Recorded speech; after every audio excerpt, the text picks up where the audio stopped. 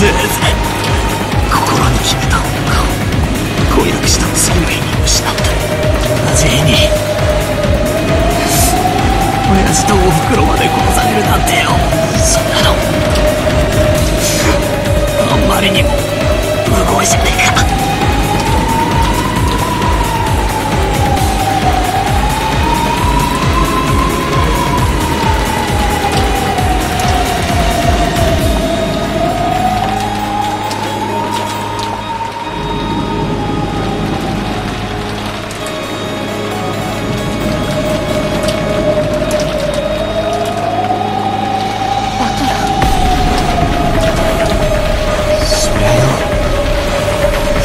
いつか死ぬぜなんだよなんとかいつか死滅の悲しみと戦わなきゃならない日が来るだろうよでもよそいつは兄貴にとってはずっと未来の話でしかもそいつは一つずつ順番に訪れるべきもんじゃね。えかよ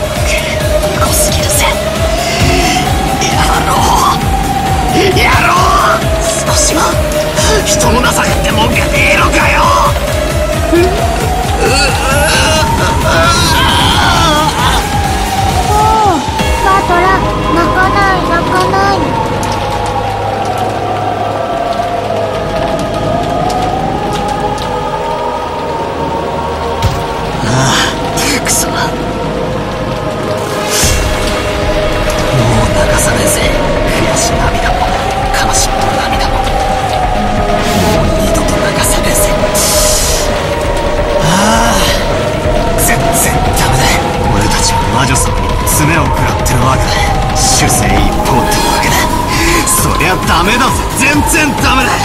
ス盤がひっくり返っちまうぜ。野郎は俺たち羊が。明日まで逃げる手段もなく怯えてるだけだろうと思ってるだろうよ。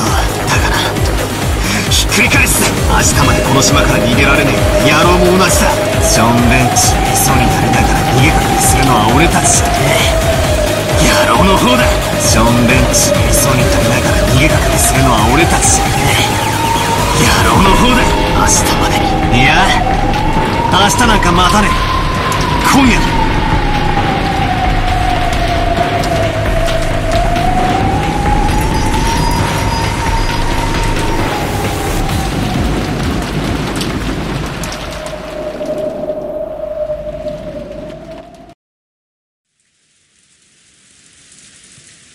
とにかく、この部屋は警察が来るまで、このままにして施錠します。いいですね。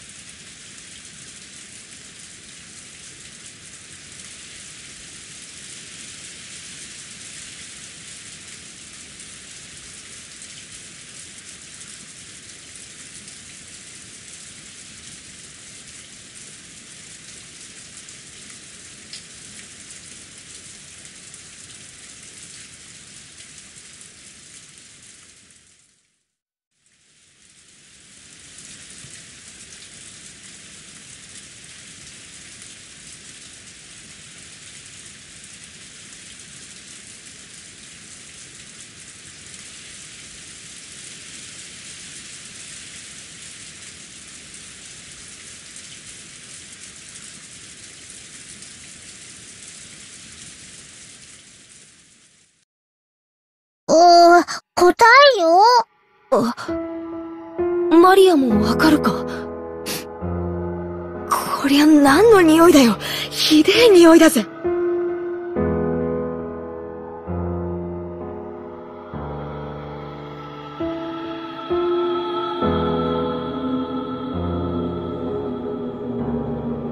私、ちょっと厨房を見てきます。火はちゃんと消したはずなんですよ。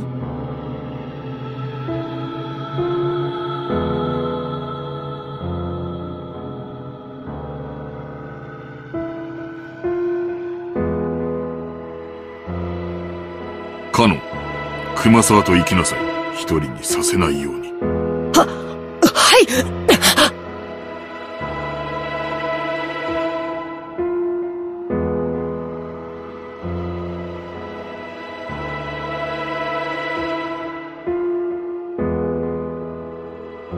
うーん、臭い。ふーん。これは確かに、鼻が曲がりそうな匂いですね。しかし、換気のために窓を開けてもいいものか。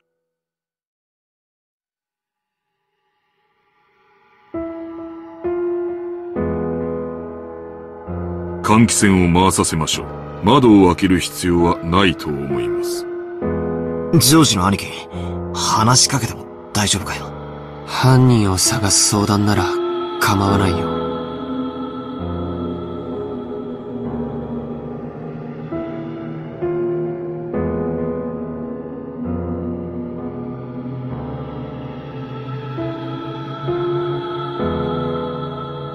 部屋にはチェーンがかかってた。つまり、完璧な密室だったってことだ。そうなるね。バラ庭園の倉庫の時は、シャッターの鍵を使用人室からこっそりと持ち出したのだろうとか、あるいは、複製の鍵を持っていた可能性とか、いくつか方法が想像できた。でも、チェーンは違う。チェーンは一般に浸透した施錠方法の中で、最もシンプルに密室を構築できる。チェーンだけは、物理的に破壊しない限り、外からはどうにもならないぜ。じゃあ、つまり、犯人は扉からは出入りしなかったってことなのか？こりゃ面白いや。つい数時間ほど前にも、扉以外でどうやって部屋から出入りしたのかって、みんなで騒いだ気がするぜ。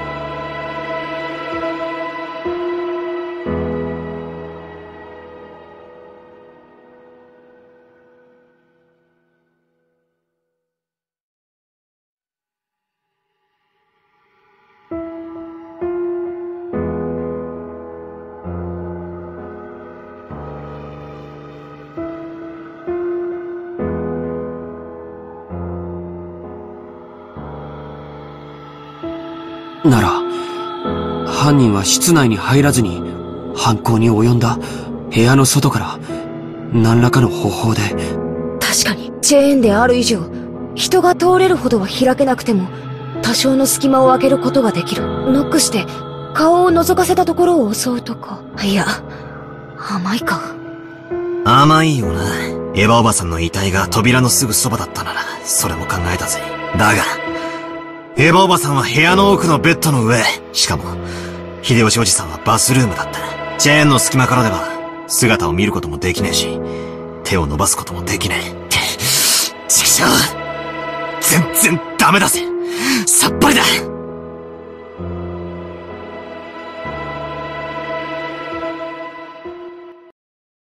おー、満足？満足って、何がだよ。バトラは親族の誰かを疑うのが嫌だから、犯人はベアトリーチェであってほしいと願ったよ。だからベアトリーチェは叶えた。バトラが言った通り、絶対に人間には無理なことをして、バトラに魔女の存在を信じさせてくれた。なのにわがまま。あいつ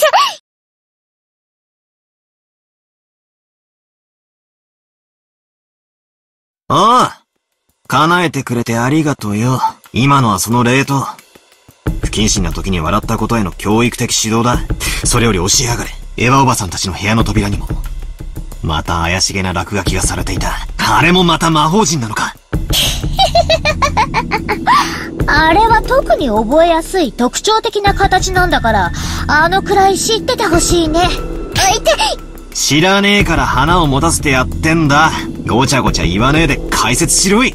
バトラは暴力的だね。あんまり意地悪すると教えないよ。あいて、うー言うよ言うよ、このげんこつ男。あれは、月の一の魔法陣だよ。何の意味がある？その魔法陣のご利益は書かれてるヘブライ語の意味は？記されているのは、旧約聖書、詩編第107編の16節主は聖堂の扉を破り、鉄の缶抜きを打ち破ってくださいました。魔法陣の効用は2つ。1つは、いかなる方法によって閉ざされた扉でも開くことができる。そりゃ便利な魔法だぜ。つまり、魔法の力に頼らなきゃ開けぬ密室の扉っていう、魔女様のアピールってわけか。もう一つの効用は、開かぬ扉を八方塞がりの事態に見立て、扉を開く。難解な事態の時に用いることで、それまで思いつきもしなかった解決策を与えてくれるんだよ。平たく言うと、観察力や洞察力、ひらめきや直感を授けてくれるんだね。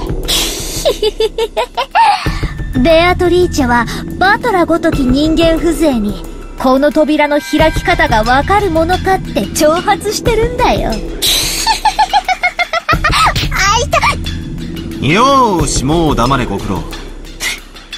上等だぜ。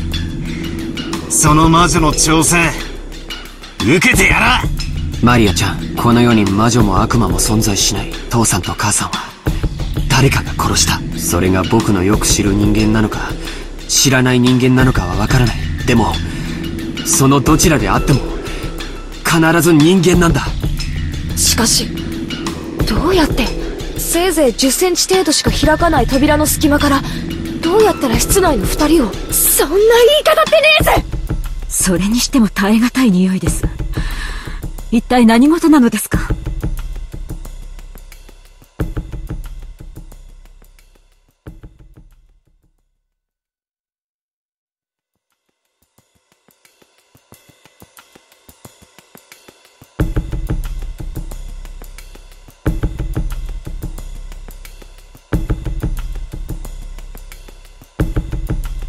ボイラー室。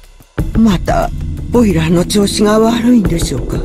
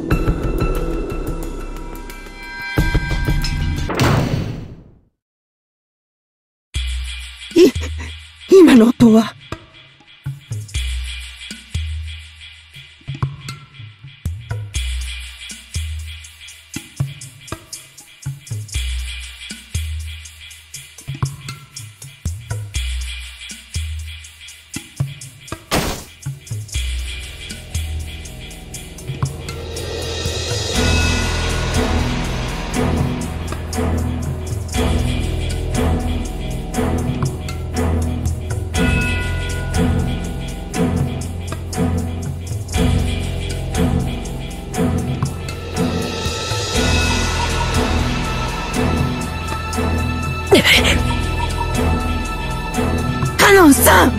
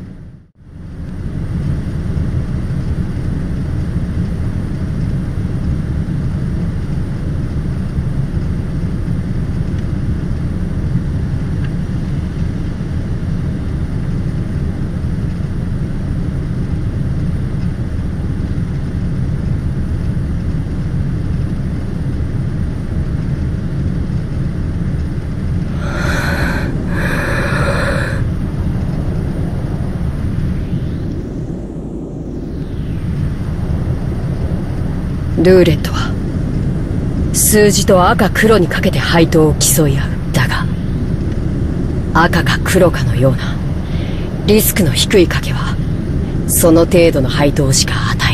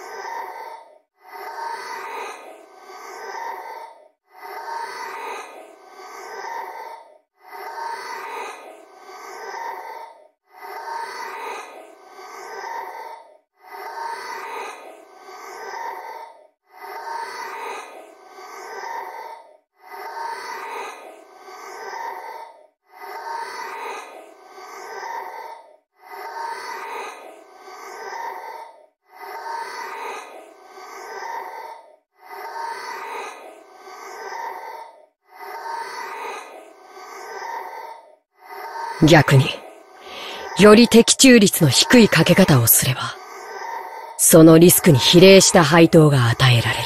親方様は、天文学的なリスクを的中できることを、奇跡と呼び、その結果得られる天文学的な配当を、魔法と呼んでいた。親方様とお前が、どんな魔法を求めてルーレットに挑んでいるのか、そんなことには興味ない。しかし、お前は忘れている、ルーレットには。赤でも黒でもない目が出うることを、忘れている。